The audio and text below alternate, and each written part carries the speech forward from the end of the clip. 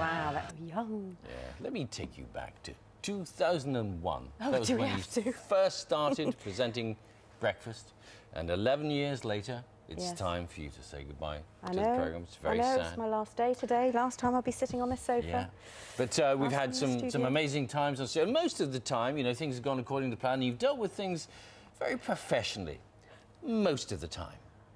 No. Yes, cover, cover. I'm cover. so sorry. No, it's very above. embarrassing for the pat chap. So far, he's half Chelsea and half Liverpool. Just time to tell you there's some breaking news. There's been a very serious injury to Action Man during that uh, changeover of clubs.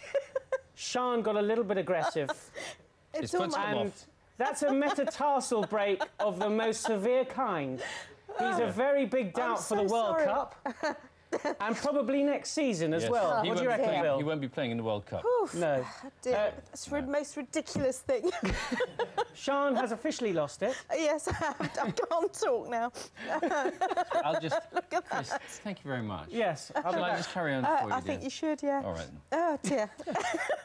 It's ear-piercingly high, and we're not talking about chance laughing. just If you're under sit here. 30, yes, you, You just sit there and relax. Oh, I seem to lose it quite a lot, don't I, if you've been watching over the past 11 years. I'm not even going to look at him this morning because he makes me go in an instant. Well, I'm lots, laughing I mean, or crying. I, I- just hundreds and hundreds of people Oh, writing in. But one particular person got in touch, somebody called Susanna Reed. Um, Sian, you're an inspiration. You've always been generous with your advice. And the most important advice, look at Bill as if you love him and laugh at all his jokes. Hey, Hey, it's worked for me. We'll stick with me in the months ahead, she says.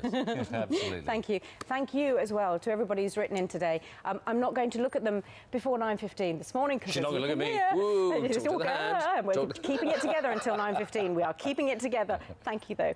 Um, it's four minutes before eight. Yes, and coming up before nine, If I was to create knickers that were British manufactured and were keeping British seamstresses in a job, would you buy them? Definitely, definitely. Yeah. You would? Definitely. retail guru Mary Portas is explaining how she hopes to revive the UK's clothing industry with a new range of British knickers. Oh, steady.